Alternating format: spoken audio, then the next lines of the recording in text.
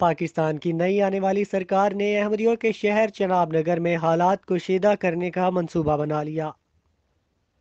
पाकिस्तान में एक अरसा दराज से अहमदी कम्युनिटी से जीने का हक छीन लिया गया हुआ है और रोज़ ब रोज़ लोगों को अहमदियों के खिलाफ उकसाया जाता है, जिसकी वजह से सैकड़ों अहमदी अभी तक जान से हाथ धो बैठे हैं।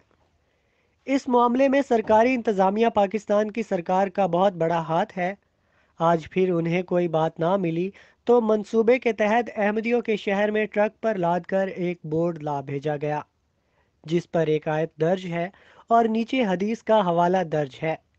और सबसे नीचे लिखा है, पंजाब असम्बली से मंजूर शुदा, और इस बोर्ड को चनाब नगर के दरमियान मेन सड़क के ऊपर लगा दिया गया है। और लगाने से पहले पूरी कोशिश की गई कि अहमदी लोग इस बोर्ड को लगाने से मना करें और यहाँ हालात कशीदा किए जाएँ और उन लोगों पर मुकदमात दर्ज करके शहर में दहशत फैलाई जाए।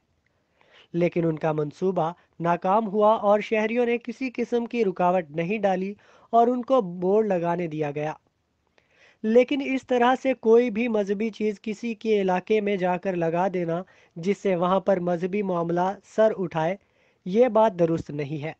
अमन अमान कायम करने वाले इदारों को चाहिए कि वो इस तरह के कामों को रोकें ताकि कोई भी मजहबी ग्रोह आपस में तसादम से बच सके।